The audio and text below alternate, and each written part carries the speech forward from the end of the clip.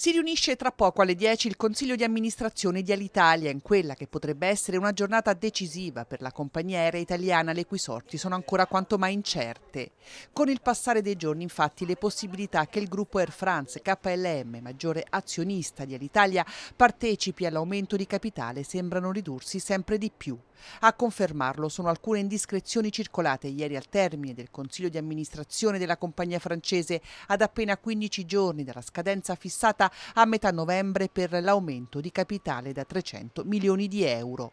Secondo fonti citate dalla stampa francese, i progetti di Air France sarebbero di nuovo in contrasto con quelli del governo e degli azionisti italiani.